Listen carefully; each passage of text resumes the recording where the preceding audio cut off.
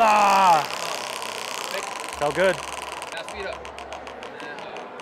Uh, And, oh, wait, so I have to do 20 push-ups?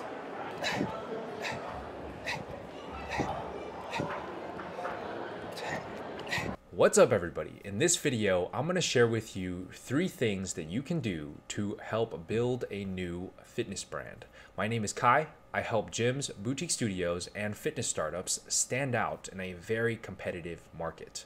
Anyways, I was recently in New York for the New York Strong Convention I'm in, baby.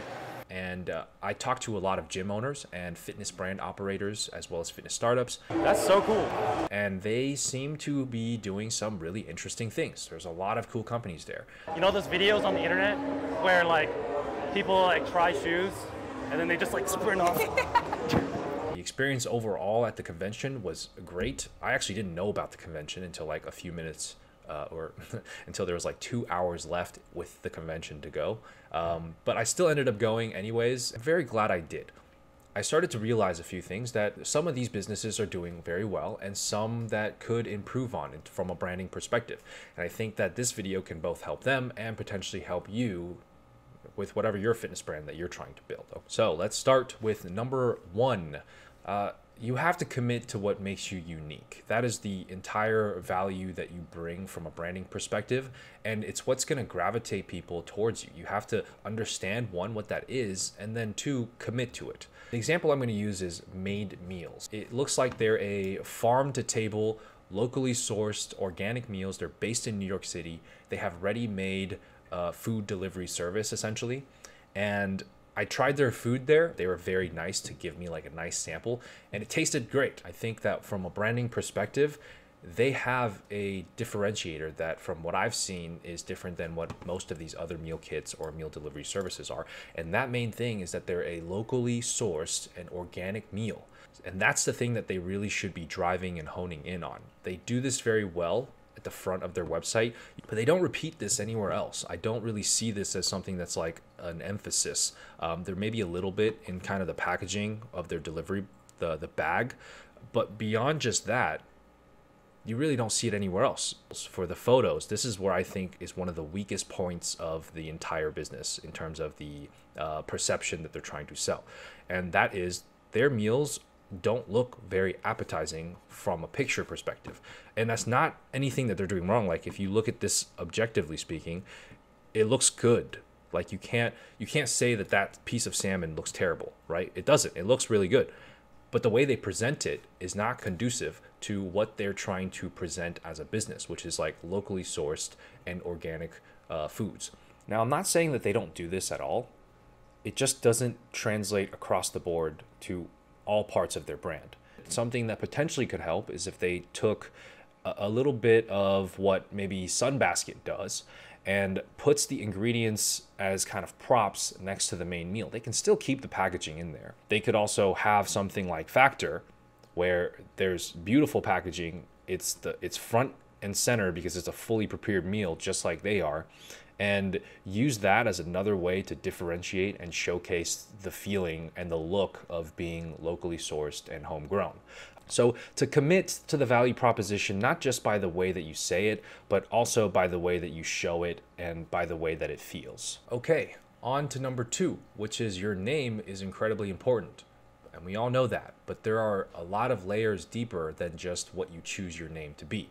So, I talked to Gains app and they have a really cool concept where it's basically like a betting app for calisthenics based exercises for people to bet on somebody competing against another person on a specific exercise like push-ups. How many push-ups can these two do? You bet on one guy you bet on the other and then you make money from it. Um, and I don't exactly know how the app works because I didn't see the actual app, but that seems to be the main concept. Now, have to look at what other names exist within your industry or within the niche that you're you're currently building your business in. So if you just go to the App Store and type Gains as an app, you'll see that there's a ton of other apps that have the name Gains or Gains app in it. And you can go to a website, you can go on Google and search for Gains app as well, and you'll see that there are other people that have taken the name. Now, this doesn't necessarily mean that you can't use this name, but it often means that or, well it might if it's been trademarked. Let's let's make let's go back there for a second. So i would double check trademark which for now it looks like it's open and it's clean nobody has it. Um, and then you want to check the domain as well because if you don't have the domain or if you don't get a variation of the domain that can work with the business then that becomes really hard to start ranking up on like Google searches down the down the road. But you know, I don't know what their actual customer acquisition strategy is going to be. I don't know if they're going off of organic search in App Store. Probably not. Uh, it's probably going to be a very community-based thing. Okay, I know it's dark behind me, and it's been a while since I recorded the first part, and I, I missed a few things, so I'm jumping back in here at the end. But basically, when you vet a brand, you want to make sure that it is one, the trademark is available, two, that you have the domain name in some format available, and then three, you want to make sure that the social media handles also in some format are available. And uh, if none of those are available, or if you have a lot of very, very similar competitors, I would consider changing the name and potentially trying something new. Uh, it's going to be an uphill battle if there's already an established business with that name within your niche, within your industry, even if all three of those are kind of uh, still open and available. Uh, but still, nonetheless, vet the name, double check everything, and then go for the actual launch with whatever name that you have. Now, that's not saying that Gains app name is not going to work by any means. Uh, this is just best practices, and it will be harder for Gains app to take traction. Um, although I don't know if any of these other apps called the Gains app or called Gains on the Apple Store is really doing very well, so I think they may be fine.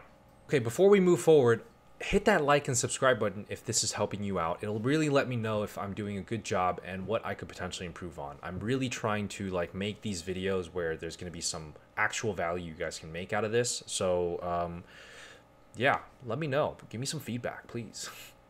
Number three, you want to understand your customer and you want to be speaking to them in their language for this example, Synapse, I think they have a great product. Holy crap! Super job. It's just they're not speaking the type of language that the consumer would actually hear and then want to buy their product from it.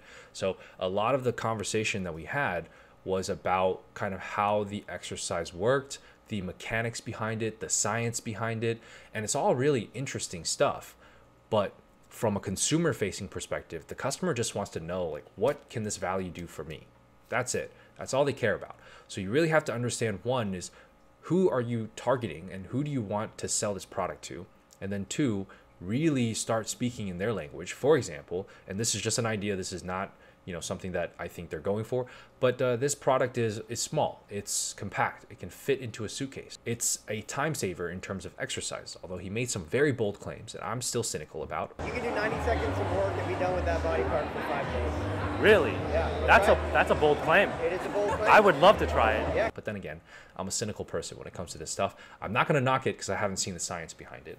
But this speaks to me like you know a, a, certain persona of person that maybe travels around a lot values their health and fitness but doesn't have the time and the ability to consistently go to gyms. This could be something that they pack into their bags take with them on a trip just have to tie it up to something that's you know stable on the ground and then get a full workout from it. I think that would be a great way to market this product to that specific type of user. I would also be aware of, you know, this is a pretty expensive product, so you definitely want people with the financial capability to afford something like this as well. So I'd probably start there. But, you know, again, this is me just kind of spitballing. This is not me doing a formal brand strategy audit or anything about this company. It's literally from the conversation I had with him that, that took about 20 minutes um, and trying out the product. So keep that with a grain of salt. The main thing I want everyone to take from this is that you want to understand what your customer wants and how your product can provide that value to them, and then understand who that customer is down to the T, understand their demographics, their psychographics, and then really start to shift your language and how you speak about the product to cater to them. Also, one of the crucial mistakes you can make in the beginning is to say, I want my product or I want my brand to be for everybody. Because if you're speaking for everybody, you're speaking to nobody. And you really have to hone that down, especially in the beginning when you're trying to carve yourself a piece of the market. So don't make that mistake. And that is going to help you sell way more product and just get way more attention about your product or service than simply speaking about the what and the how of what it is. To summarize, one, you want to commit to what makes you unique because that's really the foundation of what's going to build your brand. Two, when choosing names, you want to make sure that you have all the logistics behind the name down, not just a concept down. And three, you want to understand your customer and how to speak with them in their language. So, with these tips, hopefully you can use them to build a nice foundation for your brand and uh, help you solve maybe some of those early obstacles in getting your product sold. Also, I want to give a shout out to the other brands that were there. I had a great time talking with you guys, learning about your product or service, and interacting with uh, the type of experience you set up at your booth. I think it was overall a great event put together by the New York Strong Convention. And uh, next year, I will definitely like know ahead of time and prepare myself better and go into it with a uh, well, just just to know that it, it, I also want to give a shout out to MiCacao Tea. I met them at their booth. They were amazing with their products. I think that they actually have a pretty well developed brand at this point.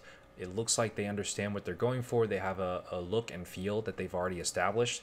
And their drink was actually really, really good. It was like tea with chocolate that is not super sweet. It's like hot cocoa, but not in a. It's like hot cocoa if it was a tea and it wasn't like it didn't taste like just watered down hot chocolate. It was like actual like hard to explain. It's like tea that was hot cocoa. I hope these tips help you build a better brand. Till next time. I have changed my mind. I'm gonna pay the $125 and I'm gonna go in and I'm gonna see what's up. Even if I get nothing from this. Worst I can get some footage. Just another form of pushing myself out of my comfort zone and potentially wasting $125. But whatever. It's gonna be worth it, I think. My gut tells me it's gonna be worth it.